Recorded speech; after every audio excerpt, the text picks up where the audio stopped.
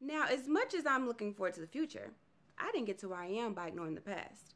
And for over 300 days, well, the past has been pretty good to me. But you only get out what you put in. And at Royal Rumble, I put Alexa Bliss to work.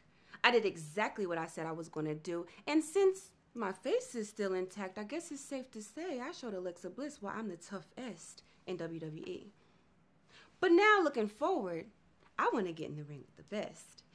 And after winning the Royal Rumble, well, Rhea Ripley, she earned every right to call herself one of the best.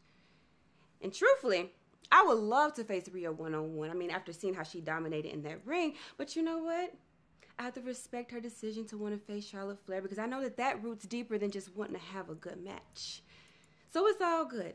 It is all good because I still have the opportunity to contend with the best that WWE has to offer. Now we have six women entering to compete inside the Elimination Chamber match, and the winner of that match is going to face me for the Raw Women's Championship at WrestleMania.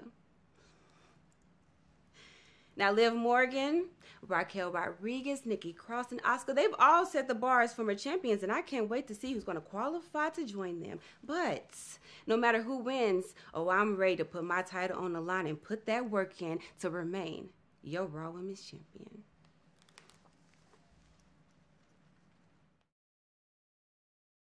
Break the rules, break the laws. This is the moment we change it all. Break